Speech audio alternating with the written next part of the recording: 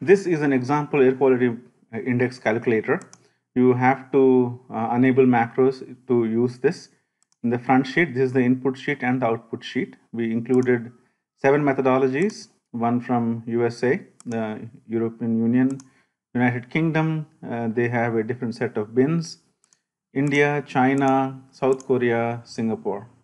There are seven methods and uh, the, um, so if you come go back to the main calculator page, you enter the concentrations that you want to use for uh, calculating the air quality index and then you select the methodology that you want to use to calculate the index and then click to calculate the index. And it will say that um, these are the parameters used by EU's method.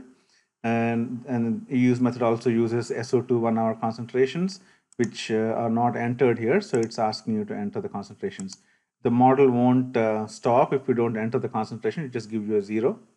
Uh, but uh, you can change the input. So it basically immediately tells you which parameters are required uh, for each of the um, uh, system. So here's a quick summary of what are the parameters that are used by each of these methodologies.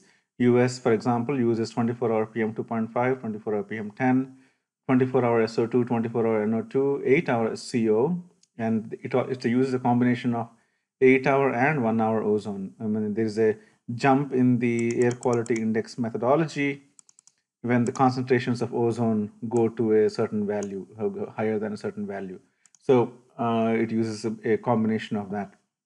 So all those are already embedded into the system. So you can just um, enter the concentrations, select the, the, method you want to use to calculate, and it basically tells you um, uh, air quality index.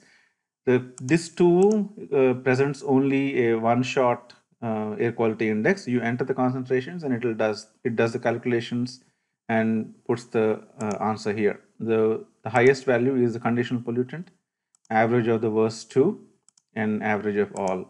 And, and these remarks are consistent with whichever methodology you pick to calculate the air quality index calculations. So for example, if you go to UK and press, it will change to the, the remarks that the UK system uses all, all the details are included in the calculator.